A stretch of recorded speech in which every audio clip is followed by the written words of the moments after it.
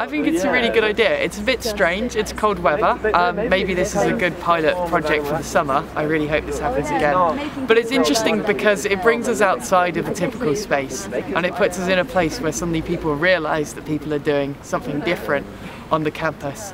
And it's also great to have um, this thing where you can just wander over and wander in and wander out and it's unbounded and I like that and it's a great place to have uh, both staff and students talk about very important things outside of the classroom where we can all come together and all have a good discussion about things that are really important for us and I guess the student population in general and staff um, in the future and, and currently. Yesterday we had both Steve Shapiro and Tom Doherty and today we've got Mark Story and we've got loads of other people speaking for the rest of the week um, about all kinds of things, uh, politics, history, uh, the environment, and various other bits and bobs. So, yeah. I think it has it has less of a formal feel to it. Um, anyone can feel like they can get involved. I think that's, that's a good thing about it. It seems more subversive,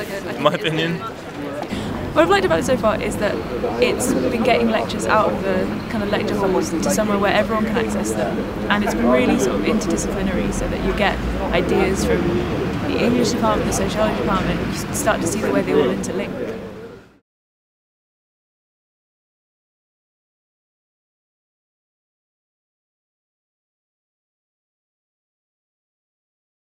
produce socially and ecologically beneficial change. So things like the Occupy movement who manifested their politics, they shared property, they gave free education, they occupied public spaces. Um, so rather than saying we need a, an obscure set of demands or a manifesto, they just kind of they manifested, they de demonstrated their politics. Living the difference that you're trying to make is the really key thing.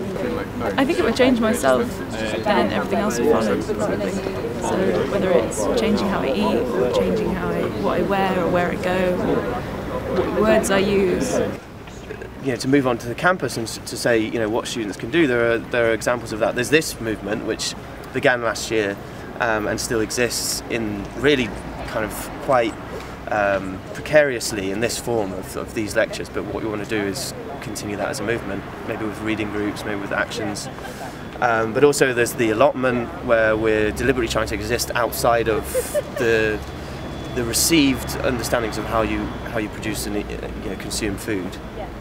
Um, there's a food co-op which has just begun, uh, and then there's things like Warwick, Warwick Volunteers who encourage a, a, a non-capitalised, a non-monetised form of, of community engagement.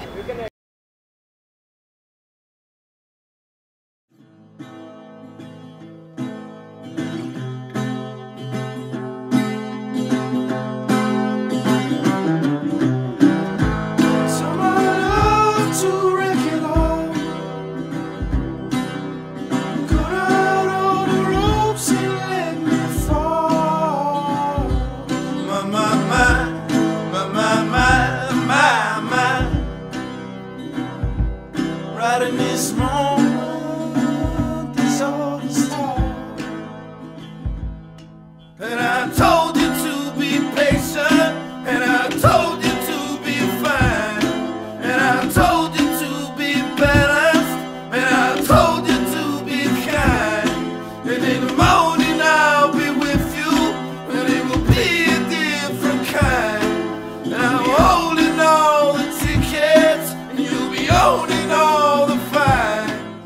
get involved. Um, that they're absolutely brilliant and absolutely necessary. This is it's new to me, exciting.